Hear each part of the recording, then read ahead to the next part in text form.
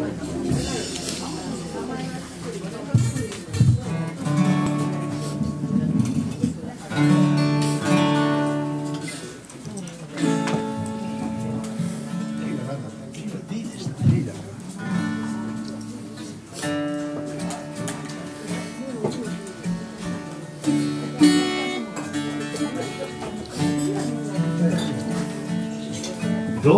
れだけ道を歩いたら人と呼ばれるのか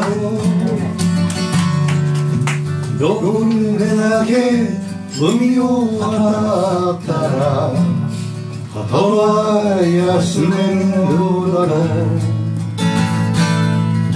どれだけ大砲がたら戦いは終わるのか友達よその答えは風に吹かれて友達よその答えは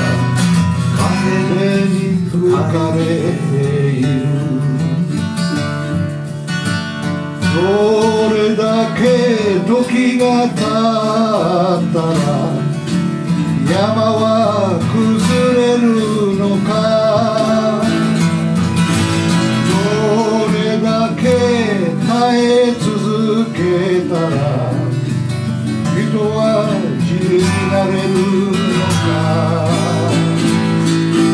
どれだけ顔を背けて身の振りができるのか？友達よ。その答えは風に吹かれている。友達よ。その答えは風に吹かれているどれだけ見上げていたら澄んだ空が見えるのか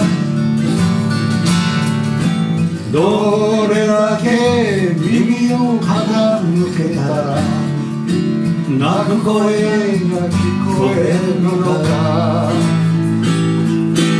どれだけ人が死んだらくの人が死んだとわかるのか？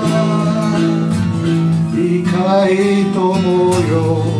その答えは風に負けるだけさ。友達よ。その答えは風に吹かれている。